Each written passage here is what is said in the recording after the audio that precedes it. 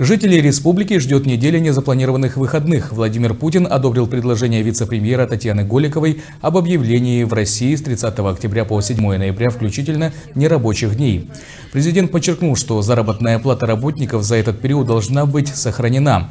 Такие меры вводятся исключительно, чтобы замедлить темпы распространения коронавирусной инфекции. Именно в ходе обсуждения президента с членами правительства непростой ситуации с COVID-19 в стране и было принято решение о продолжительных выходных. В последние дни Россия обновляет исторические максимумы по количеству смертей инфицированных коронавирусом. За минувшие сутки умерли 1028 человек, заразившихся стало на 34 073 больше.